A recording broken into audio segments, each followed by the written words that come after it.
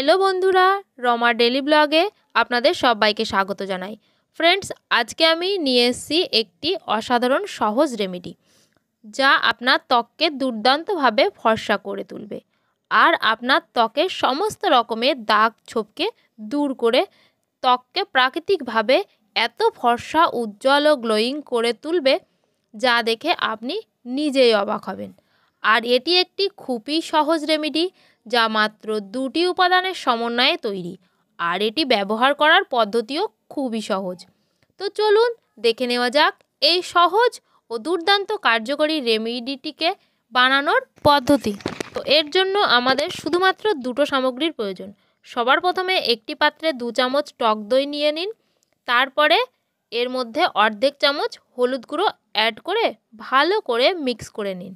টক দইয়ের মধ্যে খুবই গুরুত্বপূর্ণ উপাদান ল্যাকটিক অ্যাসিড থাকে, যা আমাদের ত্বককে বিভিন্ন রকম দাগ, ছোপ থেকে দূর করার জন্য খুবই কার্যকর। এছাড়াও এর মধ্যে ন্যাচারাল ব্লিচিং প্রপার্টিস থাকে, যা ত্বককে খুব ভালোভাবে পরিষ্কার করতে সাহায্য করে, যার ফলে ত্বক ইনস্ট্যান্ট ঝকঝকে পরিষ্কার ও উজ্জ্বল হয়ে যায়।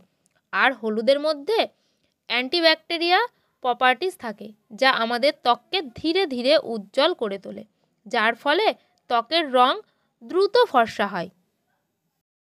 তো ভালোভাবে মিক্স করে নেওয়ার পর, এইভাবে এই মিশ্রণটিকে আপনার ত্বককে অ্যাপ্লাই করে নিন। আর ভালোভাবে অ্যাপ্লাই করে নিয়ে দশ মিনিট পর্যন্ত রেখে দিন। এটি একটি স্কিন ব্রাইটনিং মাস্ক যা বিশেষত্ব আপনার ত্বকের রঙকে ফর্সা ও উজ্জ্বল করে তোলার জন্য কাজ করে। তাই এর ব্যবহারে আপনার ত্বকে ইনস্ট্যান্ট একটা আশ্চর্যজনক উজ্জ্বল ও ফর্সা ভাব লক্ষ্য করা যায়। দশ মিনিট পর যখন এটি শুকিয়ে যাবে, তখন নর্মাল জল দিয়ে এটিকে ধুয়ে ফেলবেন। দশ মিনিট পর যখন এটি শুকিয়ে যাবে, তখন নর্মাল জল দিয়ে আপনার ত্বককে পরিষ্কার করে নিন। তো ভালোভাবে ত্বককে পরিষ্কার করে নেওয়ার পর আপনারা দেখতে পারবেন আপনার ত্বক দারুণ, উজ্জ্বল, ফর্সা ও গ্লোয়িং হয়ে গেছে। তো এইভাবে এই স্কিন ব্রাইটনিং মাস্কটিকে সপ্তাহে মাত্র দুবার ব্যবহার করলে মাত্র এক মাসের মধ্যে আপনার ত্বক হয়ে উঠবে কাচের মতো উজ্জ্বল ও ফর্সা আর গ্লোয়িং। আর তার সাথে সাথে ত্বকের সমস্ত দাগ ছোপ দূর হয়ে ত্বক হয়ে উঠবে একেবারে দাগ, ছোফিন ও মসৃণ। তো ফ্রেন্ডস এই রেমেডিটি আপনাদের কেমন লাগল অবশ্যই কমেন্ট করে আমাকে জানাবেন। আর ভিডিওটি ভালো লাগলে অবশ্যই আমার চ্যানেলটি সাবস্ক্রাইব করবেন।